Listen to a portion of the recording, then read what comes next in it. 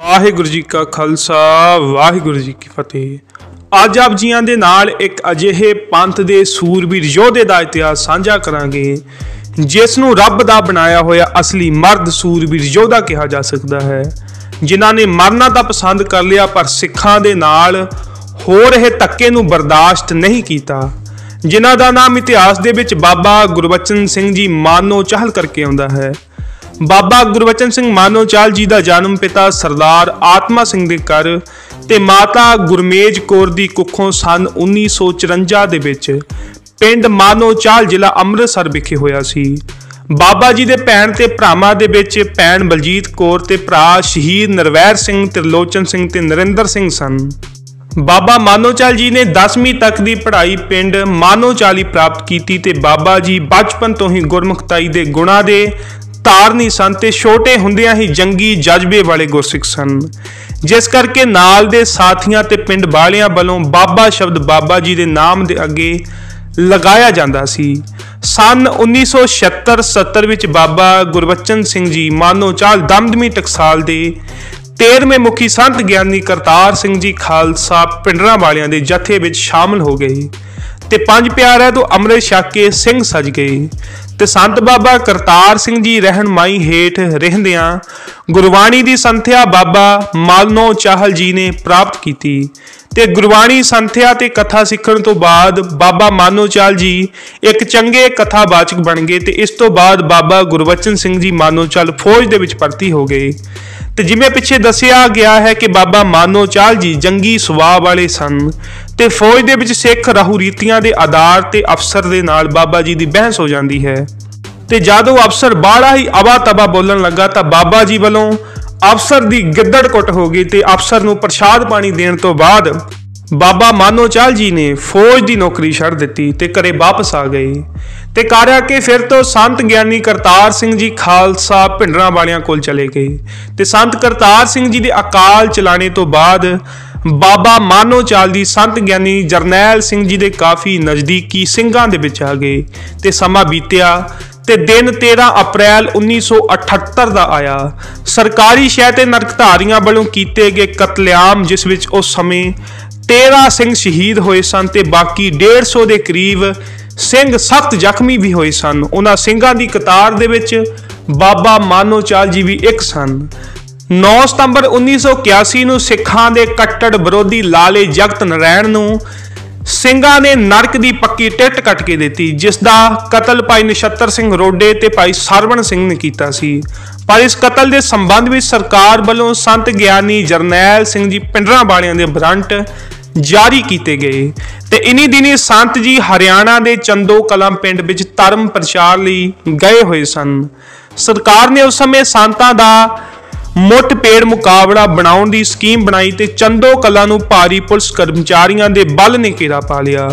ਜਿਸ ਦੀ ਖਬਰ ਮਹਾਪੁਰਖਾਂ ਨੂੰ ਪਹਿਲਾਂ ਹੀ ਮਿਲ ਗਈ ਸੀ 10 ਸਤੰਬਰ ਨੂੰ 1981 ਦੀ ਰਾਤ ਨੂੰ ਸੰਤ ਗਿਆਨੀ ਜਰਨੈਲ ਸਿੰਘ ਜੀ ਖਾਲਸਾ ਪੰਜ ਸਿੰਘਾਂ ਦਾ ਹੁਕਮ ਮੰਨ ਕੇ ਚੰਦੋ ਕਲਾਂ ਦੇ ਵਿੱਚ ਆਪਣੀ ਲੋਈ ਤੇ ਆਪਣੀ ਗਾਤਰੇ ਵਾਲੀ ਸ਼੍ਰੀ ਸਾਹਿਬ ਬਾਬਾ ਮਾਨੋ ਚਾਲ ਜੀ ਨੂੰ ਦੇਖ ਕੇ ਆਪਣੇ ਆਸਣ ਉੱਪਰ ਬਿਠਾ ਕੇ ਚੁੱਪ ਚਪੀਤੇ 30000 ਦੇ ਘੇਰੇ ਵਿੱਚੋਂ ਬਚ ਕੇ ਨਿਕਲ ਗਏ ਅਤੇ ਮੈਂ ਤੇ ਪਹੁੰਚ ਗਏ ਚੰਦੋ ਕਲਾਂ ਵਿੱਚ ਪੁਲਿਸ ਦੀ ਅਗਵਾਈ ਡੀਆਰ ਪੱਟੀ ਕਰ ਰਿਹਾ ਸੀ। ਉਸਨੇ ਪਹਿਲਾਂ ਹੀ ਚੰਦੋ ਕਲਾਂ ਦੇ ਵਿੱਚ ਸੰਤਾਂ ਤੇ ਨਿਗਾਹ ਰੱਖਣ ਲਈ ਸੀਆਈਡੀ ਦੀ ਡਿਊਟੀ ਲਗਾਈ ਹੋਈ ਸੀ।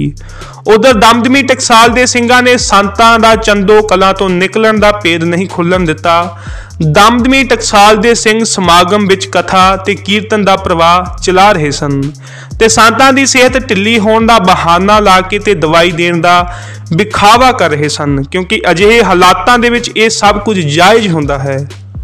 ਤੇ ਸਿੰਘ ਉਸ ਸਮੇਂ ਸੰਤ ਜੀ ਦੇ ਆਸਣ ਤੇ ਬਾਬਾ ਮਾਨੋਚਾਲ ਜੀ ਦੀਆਂ ਲੱਤਾਂ ਕੁੱਟ ਰਹੇ ਸਨ ਤੇ ਬਾਬਾ ਗੁਰਬਚਨ ਸਿੰਘ ਜੀ ਮਾਨੋਚਾਲ ਬਾਬਾ ਜਰਨੈਲ ਸਿੰਘ ਜੀ ਦੀ ਲੋਈ ਉੱਪਰ ਲੈ ਕੇ ਪਏ ਹੋਏ ਸਨ।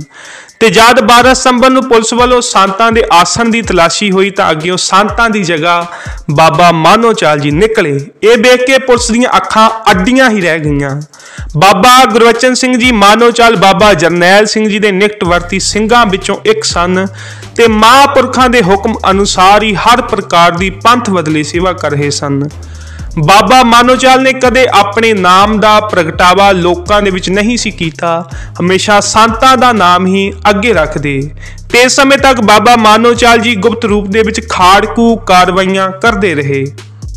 ਧਰਮਯੁੱਧ ਮੋਰਚੇ ਦੌਰਾਨ ਬਾਬਾ ਮਾਨੋਚਾਲ ਦਾ ਸਾਰਾ ਨਾਨਕਾ ਪਰਿਵਾਰ ਪ੍ਰਦੇਸ਼ ਚਲਿਆ ਗਿਆ ਸੀ, ਜਿਸ ਕਾਰਨ ਬਾਬਾ ਜੀ ਤੇ ਬਾਬਾ ਜੀ ਦਾ ਸਾਰਾ ਪਰਿਵਾਰ ਪਿੰਡ ਨੁਸ਼ਹਿਰਾ ਪੂਨੀਆਂ ਵਿਖੇ ਆ ਗਿਆ ਤੇ ਨਾਨਕਿਆਂ ਦੀ ਜ਼ਮੀਨ ਉੱਪਰ ਬਾਹੀ ਖੇਤੀ ਕਰਨ ਲੱਗੇ ਪਿਤਾ ਸਰਦਾਰ ਆਤਮਾ ਸਿੰਘ ਨੇ ਨੁਸ਼ਹਿਰਾ ਪੂਨੀਆਂ ਵਿਖੇ ਥਾਂ ਮੁੱਲ ਲੈ ਕੇ ਨਵਾਂ ਮਕਾਨ ਵੀ ਬਣਾ ਲਿਆ ਸੀ।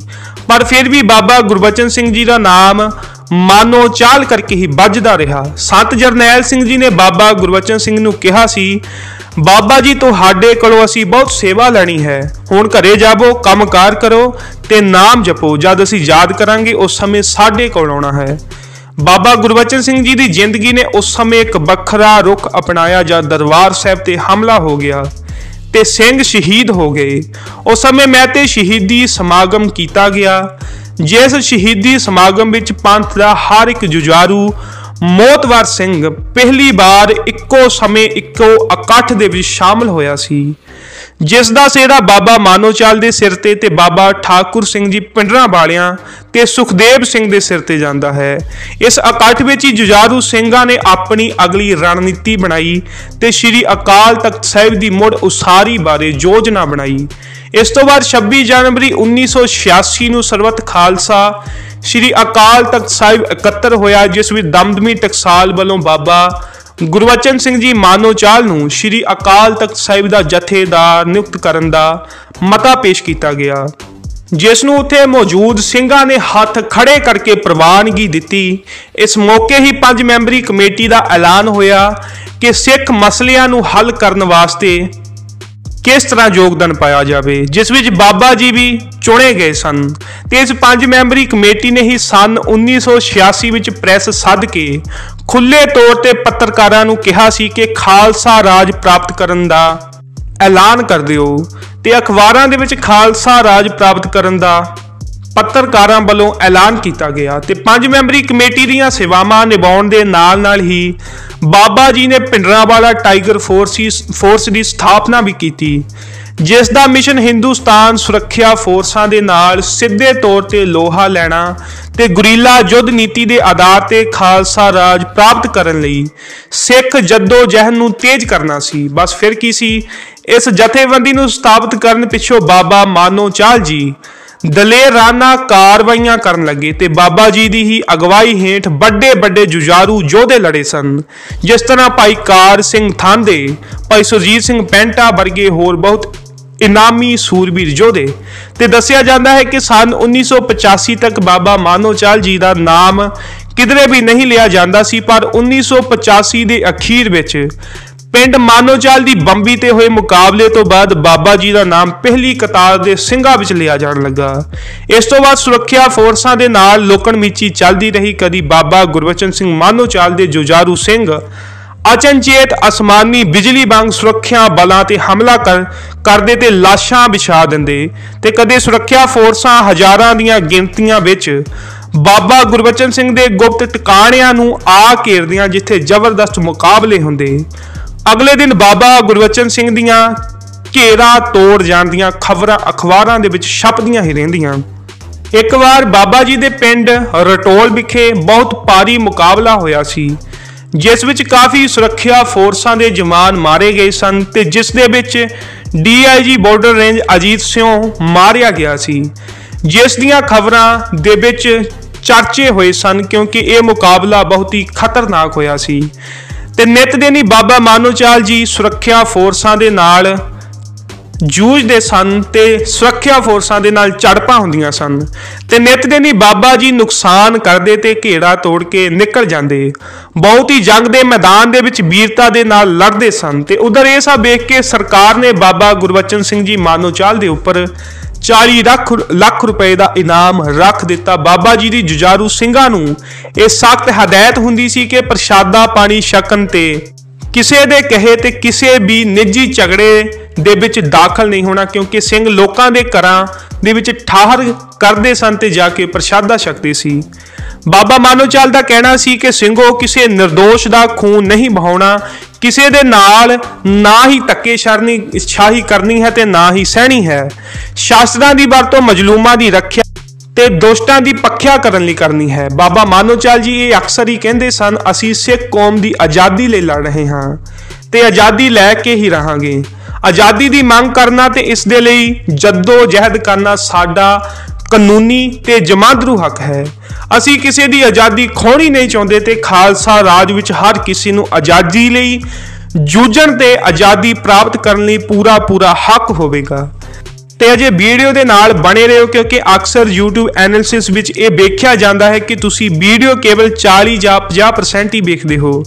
ਜਿਸ ਦੇ ਨਾਲ ਅੱਧੀ ਜਾਣਕਾਰੀ ਹੀ ਪ੍ਰਾਪਤ ਹੁੰਦੀ ਹੈ। ਹੁਣ ਦੱਸਿਆ ਜਾਵੇਗਾ ਕਿ ਬਾਬਾ ਜੀ ਕਿਵੇਂ ਰਣ ਵਿੱਚ ਜੂਝ ਕੇ ਸ਼ਹੀਦ ਹੋਏ ਸਨ, ਉਸ ਤੋਂ ਪਹਿਲਾਂ ਦੱਸ ਦਈਏ, ਬਾਬਾ ਜੀ ਨੇ ਦੂਰ ਅੰਦੇਸ਼ੀ ਤੋਂ ਕੀ ਫੈਸਲਾ ਲਿਆ ਸੀ ਤੇ ਕੀ ਭਵਿੱਖਬਾਣੀ ਸੱਚੀ ਬਾਬਾ ਜੀ ਦੀ ਸਾਬਤ ਹੋਈ ਸੀ? ਸਨ 1999 ਦੇ ਵਿੱਚ ਬਾਬਾ ਮਾਨੋਚਾਲ ਜੀ ਨੇ ਪੰਜਾਬ ਦੀਆਂ ਵਿਧਾਨ ਸਭਾ ਚੋਣਾਂ ਦੇ ਵਿੱਚ ਭਾਈ ਮਨਜੀਤ ਸਿੰਘ ਪ੍ਰਧਾਨ ਸਿੱਖ ਸਟੂਡੈਂਟਸ ਫੈਡਰੇਸ਼ਨ ਨੂੰ ਸਿਆਸੀ ਜਥੇਬੰਦੀ ਦੇ ਤੌਰ ਤੇ ਚੋਣਾਂ ਵਿੱਚ ਪੰਥਕ ਲੀਡਰ ਖੜੇ ਕਰਨ ਲਈ ਕਿਹਾ। ਤੇ ਸਪਸ਼ਟ ਐਲਾਨ ਕੀਤਾ ਕਿ ਇਹਨਾਂ ਚੋਣਾਂ 'ਚੋਂ ਜਿੱਤ ਪ੍ਰਾਪਤ ਕਰਕੇ ਲੋਕਾਂ ਨੂੰ ਖਾਲਸਾ ਰਾਜ ਦਾ ਨਕਸ਼ਾ ਵਿਖਾਉਣਾ ਹੈ ਕਿ ਸਾਡਾ ਖਾਲਸਾ ਰਾਜ ਕਿਹੋ ਜਿਹਾ ਹੋਵੇਗਾ। ਇਹਨਾਂ ਚੋਣਾਂ ਦੀ ਜਿੱਤ ਸਾਡੇ ਸੰਘਰਸ਼ ਦਾ ਪੜਾਅ ਹੋਵੇਗੀ, ਪਰ ਮੰਜ਼ਲ ਸਾਡੀ ਆਜ਼ਾਦ ਖਾਲਸਾ ਰਾਜ ਹੀ ਹੋਵੇਗਾ। ਪਰ ਉਸ ਸਮੇਂ ਸਭ ਤੋਂ ਵੱਡੀ ਗਲਤੀ ਸਿੰਘਾਂ ਵੱਲੋਂ ਇਹ ਹੋਈ, ਜੁਝਾਰੂ ਸਿੰਘਾਂ ਨੇ ਕੁਝ ਕਾਰਨਾ ਕਰਕੇ ਚੋਣਾਂ ਦਾ ਬਾਈਕਾਟ ਕਰ ਦਿੱਤਾ ਤੇ ਬਾਬਾ ਮਾਨੋਚਾਲ ਦੀ ਇੱਕ ਵੀ ਨਾ ਮੰਨੀ। ਤੇ ਬਾਬਾ ਮਾਨੋਚਾਲ ਜੀ ਉਸ ਸਮੇਂ ਕਹਿੰਦੇ ਰਹੇ, ਸਿੰਘੋ, ਆ ਜਿਹੜੇ ਅੱਜ ਸਾਨੂੰ ਘਰਾਂ ਦੇ ਵਿੱਚ ਚਰਨ ਪਾਉਣ ਨੂੰ ਤਰਲੇ ਕਰਦੇ ਫਿਰਦੇ ਨੇ, ਜੇ ਇਹ ਰਾਜ ਭਾਗ ਤੇ ਕਾਬਜ ਹੋ ਗਏ ਤਾਂ ਇਹਨਾਂ ਬੂਹੇ ਖੜਕਾਇਆ ਵੀ ਬੂਹੇ ਖੋਲਿਆ ਨਹੀਂ ਕਰਨੇ ਤੇ ਇਹਨਾਂ ਸਾਡਾ ਖੂਨ ਪੀਣਾ ਹੈ। ਬਾਬਾ ਗੁਰਬਚਨ ਸਿੰਘ ਜੀ ਮਾਨੋਚਾਲ ਦੀ ਭਵਿੱਖਬਾਣੀ ਸਮਾਂ ਪਾ ਕੇ ਸੱਚ ਸਾਬਤ ਹੋਈ।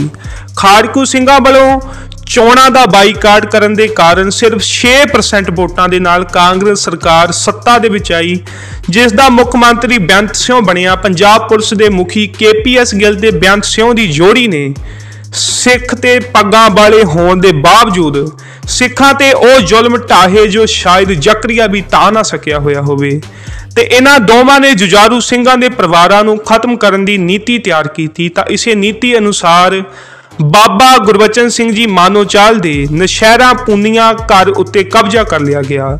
ਘਰ ਦਾ ਸਾਰਾ ਸਮਾਨ ਤੇ 15 ਮੱਝਾਂ ਤੇ ਚਾਰਾਂ ਭਰਾਵਾਂ ਦਾ ਵੀ ਸਭ ਕੁਝ ਚੁੱਕ ਕੇ ਲੈ ਗਏ ਤੇ ਛੋਟੇ ਭਰਾ ਨਰਵੈਰ ਸਿੰਘ ਨੂੰ ਪੁਲਿਸ ਨੇ ਫੜ ਲਿਆ। ਸਾਰਾ ਪਰਿਵਾਰ ਘਰੋਂ ਬੇਘਰ ਹੋ ਗਿਆ। ਲੋਕ ਸੇਵਕੇ ਦਿਨ ਕੱਟਣ ਲਈ ਮਜਬੂਰ ਪਰਿਵਾਰ ਨੂੰ ਕਰ ਦਿੱਤਾ ਗਿਆ। ਬਾਬਾ ਮਾਨੋਚਾਲ ਨੂੰ ਫੜਨ ਵਾਸਤੇ ਭਾਈ ਨਰਵੈਰ ਸਿੰਘ ਤੇ ਪੁਲਿਸ ਵੱਲੋਂ ਬਹੁਤ ਜ਼ੁਲਮ ਢਾਏ ਗਏ। ਭਾਈ ਸਾਹਿਬ ਦੀ ਹੱਡੀ ਹੱਡੀ ਤੋੜ ਦਿੱਤੀ। ਸਾਰਾ ਸਰੀਰ ਗਰਮ ਪ੍ਰਿਸਾਂ ਲਾ ਕੇ ਸਾੜ ਦਿੱਤਾ ਗਿਆ ਤੇ ਅਖੀਰ ਝੂਠਾ ਮੁਕਾਬਲਾ ਬਣਾ ਕੇ ਸ਼ਹੀਦ ਕਰ ਦਿੱਤਾ ਗਿਆ ਤੇ ਬਾਬਾ ਮਾਨੋਚਾਲ ਨੂੰ ਆਪਣੇ ਭਰਾ ਉੱਤੇ ਇੰਨਾ ਵਿਸ਼ਵਾਸ ਸੀ ਕਿ ਬਾਬਾ ਜੀ ਅਕਸਰ ਇਹ ਕਿਹਾ ਕਰਦੇ ਸੀ ਕਿ ਪੁਲਿਸ ਵਾਲੇ ਭਾਵੇਂ ਨਰਵੈਰ ਸਿੰਘ ਦੇ ਟੋਕੇ ਨਾਲ ਟੋਟੇ ਵੀ ਕਰਦੇ ਪਏ ਹੋਣ ਤੇ ਮੈਂ ਉਸ ਦੇ ਸਾਹਮਣੇ ਫਿਰਦਾ ਹੋਵਾਂ, ਤਾਂ ਵੀ ਨਰਵੈਰ ਸਿੰਘ ਮੇਰੇ ਬਾਰੇ ਪੁਲਿਸ ਨੂੰ ਨਹੀਂ ਦੱਸੇਗਾ, ਸ਼ਹੀਦ ਭਾਵੇਂ ਹੋ ਜਾਵੇ। ਸਨ 1990 ਵਿੱਚ ਪੁਲਿਸ ਬਾਬਾ ਜੀ ਦੇ ਪਿਤਾ ਨੂੰ ਨਸ਼ਹਿਰਾ ਪੂਨੀਆਂ ਵਾਲੇ ਘਰ ਵਿੱਚੋਂ ਚੁੱਕ ਕੇ ਲੈ ਗਈ ਤੇ ਸਰਹਾਰੀ ਥਾਣੇ ਦੇ ਵਿੱਚ ਤਸੀਹੇ ਦਿੰਦੀ ਰਹੀ। ਬਾਅਦ ਵਿੱਚ ਸਰਦਾਰ ਆਤਮਾ ਸਿੰਘ ਨੂੰ ਪੁਲਿਸ ਨੇ ਸ਼ਹੀਦ ਕਰ ਦਿੱਤਾ। ਇਸੇ ਤਰ੍ਹਾਂ ਮਾਤਾ ਗੁਰਮੇਜ ਕੌਰ ਆਪਣੇ ਪੋਤੇ ਦੇ ਨਾਲ ਕਟੜਾ ਜੈਮਲ ਸਿੰਘ ਅੰਮ੍ਰਿਤਸਰ ਵਿੱਚ ਇੱਕ ਘਰ ਵਿੱਚ ਰਹਿੰਦੇ ਸਨ ਤੇ ਉਹਨਾਂ ਨੂੰ ਤਨਤਰ ਪੁਲਿਸ ਚੁੱਕ ਕੇ ਲੈ ਗਈ। ਪੋਤਾ ਰਵਿੰਦਰ ਸਿੰਘ ਇਸ ਛਾਪੇ ਤੋਂ 2 ਮਿੰਟ ਪਹਿਲਾਂ ਹੀ ਘਰੋਂ ਬਾਹਰ ਨਿਕਲਿਆ ਸੀ, ਜਿਸ ਕਾਰਨ ਉਸ ਸਮੇਂ ਉਹ ਪੁਲਿਸ ਦੇ ਕੋਲੋਂ ਬਚ ਗਿਆ।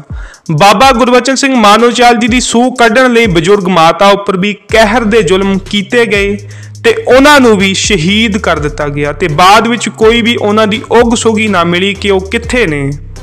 ਇਸ ਤੋਂ ਬਾਅਦ ਬਾਬਾ ਮਾਨੋਚਾਲ ਜੀ ਦੇ ਚਚੇਰੇ ਭਰਾ ਭਾਈ ਕਾਰ ਸਿੰਘ ਮਾਨੋਚਾਲ, ਭਾਈ ਬਲਵਿੰਦਰ ਸਿੰਘ ਮਾਨੋਚਾਲ ਰਹਿਵਾਰੋ ਕਹਿਣ ਦੇ ਵਿੱਚ ਜੂਝਦੇ ਹੋਏ ਸ਼ਹੀਦੀਆਂ ਪਾ ਕੇ ਹੁਣ ਦੱਸਾਂਗੇ ਕਿ ਬਾਬਾ ਜੀ ਨੇ ਕਿਵੇਂ ਬਹਾਦਰੀ ਦੇ ਨਾਲ ਮੁਕਾਬਲਾ ਕਰਦੇ ਹੋਏ ਸ਼ਹਾਦਤ ਪਾਈ ਸੀ। 28 ਫਰਵਰੀ 1993 ਨੂੰ ਬਾਬਾ ਮਾਨੋਚਾਲ ਜੀ ਭੇਸ ਬਦਲਾ ਕੇ ਸਿਰ ਤੇ ਸਾਫਾ ਬੰਨ ਕੇ ਤੇ ਗਲ ਕੁਰਤਾ ਤੇ ਤੇੜ ਚਾਦਰਾ ਪਾ ਕੇ ਤੇ ਖੇਸ ਦੀ ਬੁੱਕਲ ਮਾਰ ਕੇ ਪਿੰਡ ਰਟੋਲ ਆਪਣੀ ਠਾਹਰ ਤੇ ਪਹੁੰਚੇ। ਬਾਬਾ ਜੀ ਪੈਦਲ ਆਏ ਸਨ ਤੇ ਆਰਾਮ ਕਰਨ ਦੇ ਲਈ ਲੰਮੇ ਪੈ ਗਏ। ਹੁਣ ਸਮਾਂ 4:30 ਵਜੇ ਦਾ ਸੀ। ਜਦ ਤਰਨਤਾਰ ਪੁਲਿਸ ਨੇ ਡੇਰੇ ਨੂੰ ਘੇਰਾ ਪਾ ਲਿਆ, ਘਰ ਵਾਲਿਆਂ ਨੇ ਬਾਬਾ ਮਾਨੋਚਾਲ ਜੀ ਨੂੰ ਦੱਸਿਆ ਕਿ ਬਾਬਾ ਜੀ, ਕੋਈ ਚਾਰਾ ਕਰ ਲਵੋ, ਪੁਲਿਸ ਨੇ ਡੇਰੇ ਨੂੰ ਘੇਰ ਲਿਆ ਹੈ। ਬਾਬਾ ਗੁਰਬਚਨ ਸਿੰਘ ਮਾਨੋਚਾਲ ਨੇ ਸ਼ਾਸਤਰਾਂ ਨੂੰ ਸੰਭਾਲ ਕੇ ਚਾਰ ਚੁਫੇਰੇ ਵੇਖ ਕੇ ਪੁਲਿਸ ਨੂੰ ਲਲਕਾਰਾ ਮਾਰ ਕੇ ਕਹਿਣ ਲੱਗੇ, ਮੈਂ ਘਰ ਵਿੱਚ ਮੁਕਾਬਲਾ ਨਹੀਂ ਕਰਨਾ ਚਾਹੁੰਦਾ। ਮੈਦਾਨ ਦੇ ਵਿੱਚ ਆ ਕੇ ਹੀ ਕਰਾਂਗਾ, ਕਿਉਂਕਿ ਬਾਬਾ ਮਾਨੋਚਾਲ ਜੀ ਨਹੀਂ ਚਾਹੁੰਦੇ ਸਨ ਕਿ ਪਰਿਵਾਰ ਦਾ ਕੋਈ ਵੀ ਨੁਕਸਾਨ ਹੋਵੇ। ਬਾਬਾ ਮਾਨੋਚਾਲ ਜੀ ਗੱਜ ਗੱਜ ਕੇ ਉਸ ਸਮੇਂ ਜਕਾਰੇ ਗਜਾਉਣ ਲੱਗੇ ਤੇ ਘਰੋਂ ਬਾਹਰ ਨਿਕਲ ਕੇ ਮੱਕੀ ਦੇ ਖੇਤ ਵੱਲ ਵੱਧ ਗਏ ਤਾਂ ਸੁਰੱਖਿਆ ਫੋਰਸਾਂ ਨੇ ਗੋਲੀ ਚਲਾਉਣੀ ਸ਼ੁਰੂ ਕਰ ਦਿੱਤੀ। ਅੱਗੋਂ ਬਾਬਾ ਮਾਨੋਚਾਲ ਜੀ ਨੇ ਵੀ ਮੋੜਵਾ ਜਵਾਬ ਦਿੱਤਾ, ਪਰ ਕੋਈ ਵੀ ਮੋਰਚਾ ਨਾ ਹੋਣ ਦੇ ਕਾਰਨ ਤੇ ਦਿਨ ਦਾ ਸਮਾਂ ਹੋਣ ਕਾਰਨ ਬਾਬਾ ਜੀ ਲਾਸ਼ਾਂ ਦੇ ਢੇਰ ਵਿਛਾਉਂਦੇ ਹੋਏ ਆਪ ਹੀ ਸ਼ਹੀਦੀ ਜਾਮ ਪੀ ਗਏ। ਇਕੱਲਿਆਂ ਨੇ ਹੀ ਫੋਰਸਾਂ ਦਾ ਕਾਫੀ ਨੁਕਸਾਨ ਕੀਤਾ ਤੇ ਦਿਨ ਐਤਵਾਰ 18 ਫਰਵਰੀ 1993 ਨੂੰ ਸ਼ਹੀਦੀ ਦਾ ਜਾਮ ਪੀ ਗਏ ਤੇ ਇਸ ਤਰ੍ਹਾਂ ਬਾਬਾ ਜੀ ਸ਼ਹੀਦ ਹੋਏ। ਬੜੀ ਸੂਰਬੀਰਤਾ ਤੇ ਬਹਾਦਰੀ ਦੇ ਨਾਲ ਲੜੇ ਸਨ। ਕਿਰਪਾ ਕਰਕੇ ਵੀਡੀਓ ਨੂੰ ਜਰੂਰ ਸ਼ੇਅਰ ਕਰਿਓ ਤਾਂ ਜੋ ਬਾਬਾ ਮਾਨੋਚਾਲ ਜੀ ਦਾ ਇਤਿਹਾਸ ਵੱਧ ਤੋਂ ਵੱਧ ਵੀਰਾਂ ਪੈਣਾ ਨੂੰ ਪਤਾ ਚੱਲ ਸਕੇ। ਵਾਹਿਗੁਰੂ ਜੀ ਕਾ ਖਾਲਸਾ, ਵਾਹਿਗੁਰੂ ਜੀ ਕੀ ਫਤਿਹ।